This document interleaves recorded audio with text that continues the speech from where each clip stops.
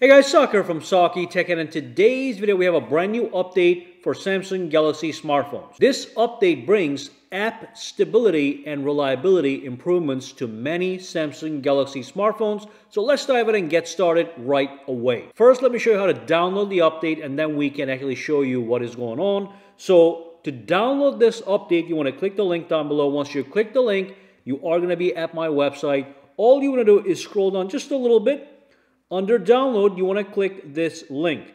Once you click this link, it is going to take you to the Galaxy Store and you can see this is a Samsung Core Service update. You can see right here that the update includes minor bug fixes and most importantly, app stability and reliability improvements. I'm going to show you where that applies. Now, when you scroll down, you can see this update might randomly pop up as it did with me it was released on April the 7th, but only showed up on my phone on April the 18th. It is 105 megabytes, so it is sizable and it's version 2.1. So let me show you what this update makes better on your phone. Now when I tap on the expand option here, you can see this is version 2.1. So basically what you're getting is you're getting improved search. That means when you go up here and you search, you are going to be getting improved search. This is one of the core services in most Samsung Galaxy smartphones. And then you can see it talks about extraction and intelligence features based on text and images. So what they're talking about there is, let's say I took a screenshot of anywhere. Okay, let's just do on this home screen right here. Take a quick, quick screenshot. Okay, and then I'm going to tap on the screenshot right here and you can see at the bottom, we have that little T icon. If I tap on the T, it is going to highlight all the text available on that screenshot that we just took. And of course, like I said, this could be a website, this could be a photo of a menu, or even a photo of a whiteboard in a classroom, and you're able to extract the text from it.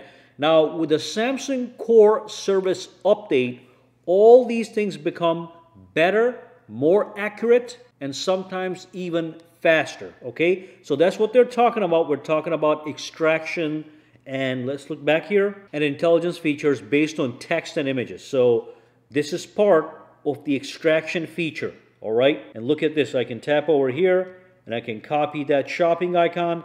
Of course, it's an existing feature. It is now gonna be more precise and more accurate. So that's another Samsung Core uh, service that has been updated to become better. And then you can see it is also used in various Samsung applications such as camera, gallery, messages, contacts, settings, and finder. So all those apps as a batch uh, have gotten better stability and higher reliability. Now, if you go down here, if you are interested, you can get a breakdown of exactly what is new here. Look at this. You got some Samsung search.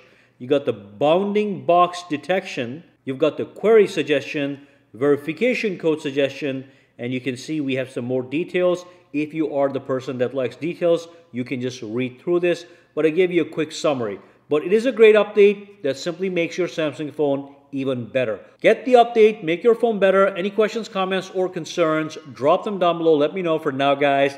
Have a fantastic day, all right?